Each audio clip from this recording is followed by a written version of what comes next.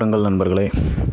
இது அகமடமாவின் புத்தம் புதிய சேனல் இந்த சேனலை நான் வந்து உங்களுக்கு எப்படி லோகோ டிசைன் பண்ணுறது எப்படி செய்கிறதுன்றதை நான் தமிழில் உங்களுக்கு சொல்லித் தரப் போகிறேன் ஸோ இந்த சேனலுக்கு நீங்கள் சப்ஸ்கிரைப் பண்ணுங்கள் லைக் பட்டனை கிளிக் பண்ண மறந்துடாதீங்க. ஸோ ஏதாவது சொல்லணும்னா கமெண்ட் செக்ஷனில் சொல்லுங்கள் இந்த டுட்டோரியல் நம்ம என்ன பார்க்க போகிறோம்னா கோல்டன் ரேஷியோ அப்படின்றத நம்ம பார்க்க போகிறோம் கோல்டன் ரேஷியோன்றது என்னென்னா பெரிய பெரிய கட்டடக்கலைகளுடைய கட்டட அமைப்புகள். இதை நான் பயன்படுத்தி செய்யப்பட்டிருக்குது இந்த கோல்டன் ரேஷியோன்றதை நம்ம என்னன்னு பார்க்குறோம். இது மூலமாக தான் இந்த கோல்டன் ரேஷியோ மூலமாக தான் பெரிய கட்டடக்கலைகள் நமக்கு வந்து பிரமிப்பையும் வியப்பையும் ஏற்படுத்தக்கூடியதாக இருக்குது அது எப்படி வந்து பார்க்குறப்ப ஒரு மாதிரி பிரம்மாண்டமாக ரம்மியமாக தோற்றம் அளிக்குதுன்றதை நம்ம செஞ்சு பார்க்குறத இன்னொரு டுட்டோரியலில் பார்க்கலாம். அதுக்கு முன்னாடி இந்த சதுரங்களை இந்த சர்க்கிள்களை எப்படி நம்ம வந்து அடோ இல்லஸ்ட்ரேட்டரில் நம்ம க்ரியேட் பண்ணுறதுன்றதை நம்ம இந்த டுட்டோரியலில் பார்ப்போம். ஸோ ஃபைலை கிளிக் பண்ணிடுங்க உடனே உங்களுக்கு வந்து நியூன்ற வந்துடும் உடனே அந்த இடத்துல நம்ம நம்மளோட நேமை நம்ம கொடுக்கணும். இங்கே நான் என்ன கொடுக்க போகிறேன்னா கோல்டன் ரேஷியோ அப்படின்றத கொடுக்க போகிறேன் ஸோ நீங்கள் வந்து எதை பற்றியும் கவலைப்பட வேணாம். ஏன்னா இந்த டுட்டோரியல் எல்லாமே தமிழ் மக்களுக்காகவே தயாரிக்கப்பட்டது. அதனால் சப்ஸ்கிரைப் பண்ண மறந்துடாதீங்க. இப்போ ஓகே பட்டனை நம்ம கிளிக் பண்ணுறதுக்கு முன்னாடி வேறு எந்த பட்டனையும் நம்ம சேஞ்ச் பண்ண தேவையில்லை. ஏன்னா உங்களுக்கே தெரியும் இல்லஸ்ட்ரேட்டர் வந்து ஒரு வெக்டர் ப்ரோக்ராம் ஸோ நம்ம எதை சேஞ்ச் பண்ணாலும் பிரச்சனை இல்லை. சேஞ்ச் பண்ணலைனாலும் பிரச்சனை இல்லை. நமக்கு தேவையானது டிசைன் ஸோ இந்த இடத்துல நம்ம என்ன பண்ணுறோம்னா ட்ரான்ஸ்ஃபார்ம்ன்ற டூலை நீங்கள் கிளிக் பண்ணிங்கன்னா இப்படி ஒரு விண்டோ வரும். அந்த ஆப்ஷன்ஸை கிளிக் பண்ணோன்னே அதில் வந்து align new objects to pixel கிரிட்னு இருக்கும். அதை நீங்கள் அன்செக் பண்ணிடணும். அதை நீங்கள் அன்செக் பண்ணிட்டீங்கன்னா தான் உங்கள் டிசைன் பிக்சல் பர்ஃபெக்டாக டிசைன் பண்ண முடியும். இல்லைன்னு சொன்னால் அந்த டிசைனை வந்து உங்களால் வந்து ஒரு இடத்துல பிடிச்சி இழுப்பீங்க அது போய் ஒரு பிக்சலில் போய் நின்றுக்கிட்டு இருக்கும் இப்போ நான் ரெக்டாங்கிள் டூவில் கிளிக் பண்ணுறேன் ஸ்க்ரீனில் கிளிக் பண்ணோன்னே ஒரு விண்டோ வருது. இதில் நான் இருபது இருபது பிக்சல் நான் கொடுக்குறேன். இதில் நீங்கள் எத்தனை பிக்சல் வேணாலும் கொடுத்துக்கலாம். ஆனால் நமக்கு வரைகிறப்ப கன்வீனியண்ட்டாக இருக்குது இருபது பிக்சல் தான். ஓ ரொம்ப சின்னதாக ஜூம் பண்ணிக்கிறலாம். கவலையே பட தேவையில்லை. ஏன்னா இல்லஸ்ட்ரேட்டர் இருக்கவே இருக்குது இப்போ நீங்கள் கர்சரை கொண்டு போய் நடுவில் நீங்கள் வச்சிங்கன்னா ஓகே அதுக்கு முன்னாடி நம்ம சர்க்கிள் டூவில் செலக்ட் பண்ணணும். ஓகே அல்லது எல்லை கிளிக் பண்ணுங்கள் இப்போ நான் நடுவில் வச்சிட்டேன். ஓகே இப்போ நான் எல்லுன்னு வச்சோன்னே சென்டர்னு காட்டும். அப்படி உங்களுக்கு சென்டர்னு காட்டலைன்னா மறக்கவே மறக்காதீங்க. வியூவுக்கு போங்க. டப்புன்னு ஸ்மார்ட் கைட்ஸ் அப்படின்றது செலக்ட் ஆகிருக்கான்னு பாருங்கள் ஆகலைன்னா உங்களுக்கு காட்டாது. நான் செலக்ட் பண்ணியிருக்கேன் அதனால் எனக்கு தேவை. ஸோ இப்போ நான் நடுவில் வச்சுட்டு ஷிஃப்ட் கீயும் ஆல்ட் கீயும் பிடிச்சோன்னே இப்படி ஒரு ஒரு மாதிரி சேஞ்ச் ஆகும். அப்படி நீங்கள் ட்ராக் பண்ணிங்கன்னா வட்டம் வரும். அந்த வட்டத்தை சதுரத்தோட தட்டுற இடத்துல போய் நீங்கள் நிப்பாட்டணும். இல்லைனா நீங்கள் எக்ஸாக்டாக வரைய முடியாது. அப்படி நிப்பாட்டுறப்பே அதுவே உங்களை பிடிச்சி இழுக்கிற மாதிரி ஒரு க்ரீன் கலரில் வரும். அதுதான் அதுக்கு சிம்பிள் இப்போ நான் போய் ப்ரிவ்யூ பார்க்க போகிறேன் ப்ரிவியூன்றது வியூன்ற மெனுவில் போனீங்கன்னா ஃபஸ்ட் ஆப்ஷனாக இருக்கும். இப்போ பார்த்தீங்கன்னா எவ்வளோ எக்ஸாக்டாக மேட்ச் ஆகிருக்கு அப்படின்றத நீங்கள் பார்க்கலாம். இதை நம்ம விட்டுட்டோம்னா கடைசி நேரத்தில் போட்டு நம்ம மாட்டுக்கு பிடிச்சி பிடிச்சி இழுத்துட்டு இருக்கணும். அப்புறம் வந்து எதுவுமே சரியாக வரலையே அப்படின்னு நம்ம டென்ஷன் ஆயிடுவோம். எப்பயுமே ஒரு விஷயத்தை செஞ்சோம்னா அதை அப்பப்போ நம்ம செக் பண்ணிக்கிட்டே இருக்கணும். கரெக்டாக இருக்கா இல்லையா அப்படின்ட்டு. அப்போ தான் நம்ம சரியானதை கொடுக்க முடியும். இப்போ நான் ஃபுல்லாக செலக்ட் பண்ணுறேன் இப்போ அதை நான் எப்படி காப்பி பண்ணுறேன்னு சொல்ல போகிறேன் இது எல்லாருமே பண்ணுற தப்பு. முதல் எடுத்தோடனே பிடிச்சி இழுப்பாங்க அல்லது ஷிஃப்ட்டை பிடிச்சி இழுப்பாங்க வராது. இப்படி தப்பாக இழுப்பாங்க. செலக்ட் பண்ணுறீங்க லைட்டாக அதாவது இப்போ நான் வந்து மறந்துட்டேன். நம்ம போய் ப்ரிவியூ மோட் ஆஃப் பண்ணிடுவோம். ஏன்னா அப்போ தான் நமக்கு தெளிவாக தெரியும் எதை நம்ம பிடிக்கணும்னு.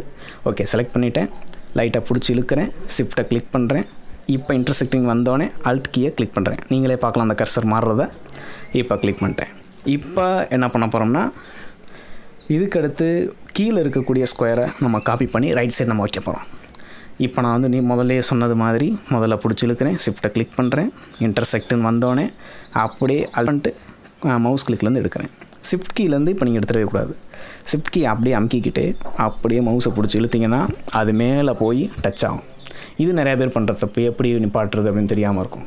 முதல்ல நீங்கள் ஒரு இடத்துல நிப்பாட்டுங்க. அதுக்கப்புறமா அப்படியே ஷிஃப்ட் கீயை விடாமல் பிடிச்சி இழுத்திங்கன்னா அது ஒரு மாதிரி பச்சை கலரில் காட்டும். அந்த இடம் தான் அது மேட்ச் ஆகிற பாயிண்ட் இது எல்லாமே அந்த ஸ்மார்ட் கைடு ஆன் பண்ணால் தான் உங்களுக்கு கிடைக்கும். மறந்துடாதீங்க. இப்போ நான் மறுபடியும் போய் ப்ரிவியூ மோட போய் நான் செக் பண்ணுறேன் செக் பண்ணோடனே கரெக்டாக மேட்ச் ஆகிருக்கு ஓகே இதை நம்ம கரெக்டாக நம்ம வந்து எந்த ஒரு டிசைனாக இருந்தாலும் எப்போயுமே நம்ம அந்த ப்ரீவியூ மோட் இருக்கவே இருக்குது இதை வச்சு நீங்கள் செக் பண்ணிங்கன்னா தான் உங்கள் டிசைன் எவ்வளோ பெருசாக இருந்தாலும் சரி சின்னதாக இருந்தாலும் சரி பர்ஃபெக்டாக இருக்கும். ஓகே இப்போ நம்ம போய் ப்ரீவியூ மோட் ஆஃப் பண்ணிடுவோம்.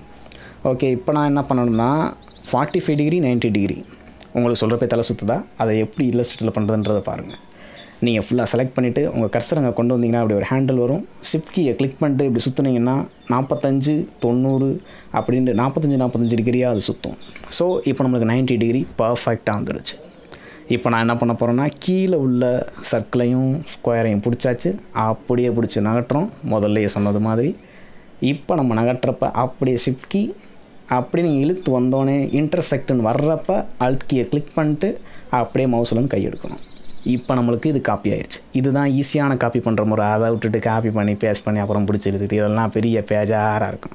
இப்போ பாருங்கள் முதல்ல சொன்னது மாதிரி அப்படியே டேரெக்டாகவும் பிடிச்சி இழுக்கலாம். இழுத்திங்கன்னா அது மேலே வந்து இன்டர்செக்ட் ஆகும். இப்போ இந்த பாயிண்டில் தான் நம்ம பிடிச்சாச்சு. ஓகே நமக்கு இப்போ நம்ம வந்து கோல்டன் ரேஷியோ சர்க்கிள்ஸ்லாம் நம்மளுக்கு வந்துருச்சு. ஸோ நீங்கள் கவலைப்படாதீங்க. இப்போ நான் ஷிஃப்ட் ஓவர் கிளிக் பண்ணோன்னே இப்படி ஆர்ட் போர்டு வந்துருச்சு. அப்படியே நான் பிடிச்சி அதை இழுக்கிறேன். இதை நான் எப்படி செய்கிறதுன்றது நான் விரிவாக சொல்கிறேன் அதுக்கு முன்னாடி முதல்ல நம்ம இந்த வேலையை முடிச்சிடுவோம் ஓகே இப்போ நம்ம வந்தோடனே நான் அந்த ஸ்கொயர்ஸ் எல்லாத்தையும் நான் வச்சுட்டு அதாவது எடுத்துட்டு மறந்துட்டேன். எடுத்துட்டு இப்போ நம்மளுக்கு வந்து சர்க்கிள் மட்டும் நம்மளுக்கு தேவை. ஏன்னா நம்மள்ட்ட ஏற்கனவே ஒரு காப்பி இருக்குது அதனால் கவலையப்பட தேவையில்லை. நீங்கள் பாட்டுக்கு டெலிட் பண்ணிகிட்டே இருங்க. பிரச்சனையே இல்லை. அதை டெலிட் பண்ணிட்டேன். இதை டெலிட் பண்ணிட்டேன். அப்படியே ஓனாக நீங்கள் டெலிட் பண்ணிட்டே இருக்கணும். இதெல்லாம் நம்ம எதுக்காக பண்ணுறோம்னா வட்டங்களை நம்ம வந்து ஒழுங்காக அடுக்கிறதுக்காக. அப்போ தான் நம்ம வந்து வரையும் பொழுது ஈஸியாக பயன்படுத்த முடியும். ஸோ இப்போ நான் என்ன பண்ண போகிறேன்னா இது எல்லாத்தையும் நான் ஒன்றா செலக்ட் பண்ண போகிறேன் செலக்ட் பண்ணிவிட்டு ஹரிசாண்டு மேலே நீங்கள் செலக்ட் பண்ணாலே உங்களுக்கு மேலே டூல் வந்துடும் கவலையப்படாதீங்க இதுக்காக நீங்கள் போய் தேடிட்டுலாம் இருக்க வேணாம். அந்த ஹரிசாண்டல் அலைன் சென்டர் அதுக்கப்புறம் ஒன்று வெர்டிக்கல் அலைன் சென்டர் அப்படின்றத நீங்கள் வச்சிங்கன்னா இப்படி அழகாக அலைன் ஆகிரும் இப்போ நீங்கள் ஈஸியாக எந்த சர்க்கிள் பெருசு எது சிறுசு அப்படின்றதெல்லாம் நீங்கள் தேட தேவையில்லை. ஆட்டோமேட்டிக்காக உங்களுக்கு வந்துடும் இப்போ நம்ம ஷிஃப்ட் ஓ அப்படின்றத நீங்கள் கிளிக் பண்ணிங்கன்னா இப்படி ஆர்ட் போர்டு செலக்ட் பண்ணுற மாதிரி ஒரு டூல் வரும். நீங்கள் இதை கிளிக் பண்ணால் இது செலக்ட் ஆகும் அது கிளிக் பண்ணால் அது செலக்ட் ஆகும். ஸோ எப்பயும் போல் நம்ம ஒரு சதுரத்தையோ வட்டத்தையோ பிடிச்சி இழுக்கிற மாதிரி இழுத்து ஷிஃப்ட்டை பிடிச்சிங்கன்னா வந்துடும் அப்படியே அல்ட்டை யூஸ் பண்ணிங்கன்னா காப்பி ஆயிடும் ஸோ நீங்கள் கவலைப்பட தேவையே இல்லை திருப்பி காப்பி பண்ணி பேஸ்ட் பண்ணிவிட்டு அப்புறம் இது எங்கடா வைக்கிறது? என்னடா இருட்டாக இருக்குது இந்த இடம் கிரே கலராக இருக்குன்னா கவலைப்பட தேவையில்லை. இப்போ நம்ம இதில் ஸ்கொயரை மட்டும் தனியாக எடுக்க போகிறோம் அதாவது ஒரு சில கூர்மையான பரப்புகளை நம்ம வரைகிறப்ப வட்டமான பரப்பு வட்டமான பொருட்கள் யூஸ் ஆகாது. ஸோ நான் இதில் நான் ஸ்கொயரான பொருள் எடுக்கிறேன். ஸோ ஒரு ஷார்ப்பான எட்ஜை வரைகிறதுக்கு இதை நான் யூஸ் பண்ணுறேன் இப்போ நம்ம எல்லாத்தையும் நம்ம டெலிட் பண்ணியாச்சு. இப்போ நம்ம வந்து இதை மொத்தமாக செலக்ட் பண்ணுறோம் அதே மாதிரி horizontal align center vertical align center அப்படி நீங்கள் கொடுத்துட்டிங்கன்னா ஆட்டோமேட்டிக்காக அது வந்து அலைன் ஆயிரும். ஸோ இதையும் நம்ம யூஸ் பண்ணிக்கலாம். ஓகே நண்பர்களே இதுதான் இன்றைக்குள்ள வீடியோ நம்ம இன்றைக்குள்ளதை நம்ம எப்படியோ கம்ப்ளீட் பண்ணிட்டோம். இன்னும் நிறையா விஷயங்கள் லோகோ டிசைனில் அடோப் இல்லஸ்ட்ரேட்டர் டிப்ஸ் அண்ட் ட்ரிக்ஸில் இருக்குது. ஸோ இந்த சேனலுக்கு மறக்காமல் நீங்கள் சப்ஸ்கிரைப் பண்ணுங்கள் ஏதாவது விஷயம் என்கிட்ட சொல்லணும்னு இருந்தீங்கன்னா அல்லது நீங்கள் ஏதாவது நான் செஞ்சு காட்டணும்னு நினச்சிங்கன்னா நீங்கள் கமெண்ட் செக்ஷனில் அதை போஸ்ட் பண்ணுங்கள் ஸோ இந்த வீடியோ பற்றி கமெண்ட்ஸையும் கொடுங்க. மேலும் மறந்துடாமல் சப்ஸ்கிரைப் பண்ணிடுங்க ஓகே அடுத்த வீடியோவில் வாட்ச் பண்ணுறேன் நன்றி.